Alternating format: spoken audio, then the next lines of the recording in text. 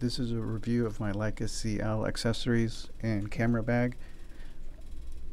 I'll start with the exterior of the bag and move on uh, to what's inside and what accessories I have for the CL camera.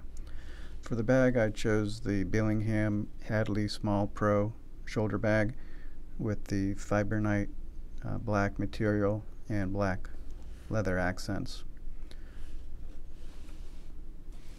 Uh, the benefits to this bag is it's very water resistant. Uh, it has an inner lining of rubberized material so uh, water can't soak through. It has a very good build quality and lots of padding on the inside.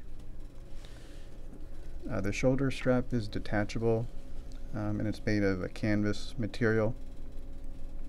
There is an available shoulder pad you can attach here uh, but that's extra. I think they should have just included it with the bag. Uh, but the leather accents are really good quality, very thick. Uh, there's some leather lining beneath the handle on top. Uh, I don't really like the branding here on the front. I wish that was just blank. Uh, but uh, otherwise it looks really nice. There's a zip compartment in the back and I just have the quick start guide in here to the camera and so, some of the warranty cards.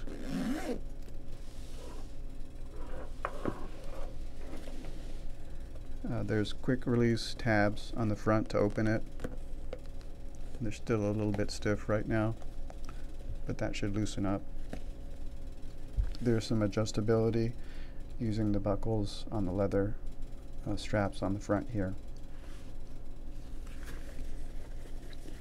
It has a green lining material and a flap here with some extra padding. So on the inside um, I have the Leica CL camera with the with one lens attached and I have uh, two other lenses in there. So uh, with that setup there's not much of extra room in there so um, everything fits fine right now, but if I wanted to get extra lenses, it would probably wouldn't fit in this bag. I'll just start out with the front flaps first. Um, here I put the charger that came with the camera and the cable and an extra battery. Uh, the extra battery is a Panasonic battery which I got on Amazon. And it was half the price of the regular Leica battery. But I'm not really worried that, that it will damage my camera. It's the same uh, voltage as the Leica battery. And in this pocket, uh, I have the Apple SD card reader with the uh, USB USB-C and then there's some extra silk bags that came with the camera and lenses. The uh, pockets are expandable with an extra snap here, but I haven't had to use that capacity yet. So going on to the inside of the bag, there's a lot of padding uh, which helps protect the camera and the contents, so I'm not really worried about anything uh, scratching or getting damaged but the extra padding does take up extra room on the interior. Uh, so here is the lens pouch for the lens I have attached to the camera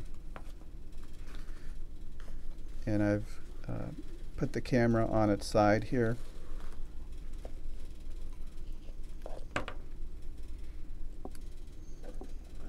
and this is my 35 millimeter lens with the lens hood on.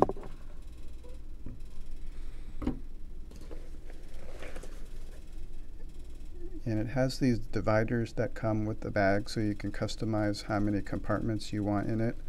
So uh, I have two, vert uh, two vertical compartments and then I have two horizontal compartments on, on within each compartment you could take this out and have one large compartment or you could put uh, this one over here and have three compartments. But on this side, I have my largest lens, which is the 60 millimeter lens with the lens hood. And then here below the camera, I have my smallest lens, which is the 18 millimeter 2.8 lens. So that's basically the empty bag.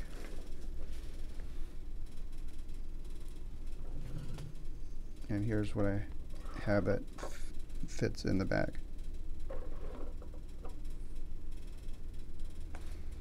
So on the camera itself, I have uh, three accessories. I'm not counting the camera strap. This came with the camera, but I really like uh, the leather on this camera strap, and it's a nice size. Um, I got the screen protector from Leica. Uh, it came. It comes with uh, two in a pack, uh, but when you're applying this screen protector, you have to be very careful that you don't get any dust uh, on the LCD screen before you put it on. So the first one I tried wasn't staying on properly, so this is the second attempt, and that's worked out pretty well. Um, it is a little bit overpriced, but I think it's worth it. The second accessory is the thumbs up accessory, which I have attached here. It just attaches to the hot shoe on top. It does have padding in between the uh, accessory and the camera so it doesn't damage the camera. Uh, the material is very high quality. It looks like it's the same exact material as the top plate of the camera and is very sturdy and it helps uh, getting an extra grip especially with my heavier lenses. Uh, so I do like this thumbs up accessory but um, it is uh, very expensive. Uh, I, I think it's overpriced. I'm not sure why uh, that costs so much. And then the last accessory is the grip accessory which is attached which is attached here. It attaches um, with the screw at the bottom and it does have some suede uh, lining uh, to protect the camera.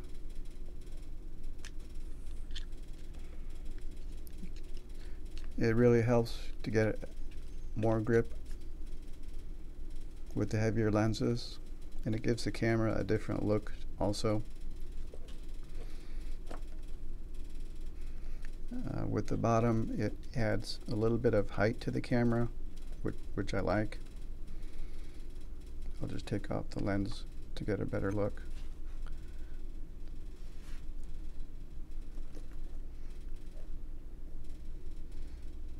But I do ha like how it the hand grip looks. There's an extra screw here for the finger loop, which I didn't get, and I don't think I really need that. But if uh, if I had a very heavy lens, that would give either even extra protection uh, to hold the camera.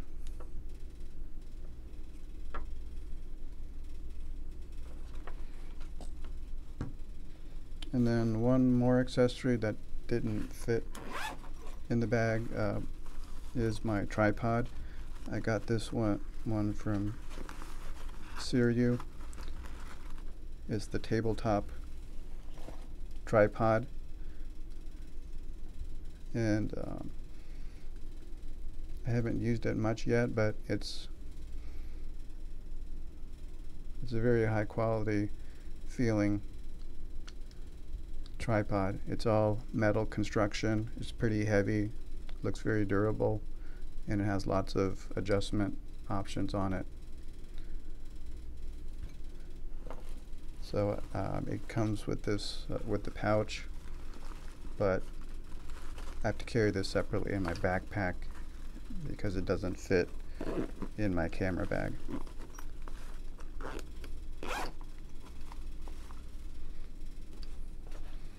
Uh, so I do recommend all of these accessories. Um, if uh, you don't mind paying the extra premium. Um, if you have any questions on anything in particular, uh, please let me know in the comments. Thanks.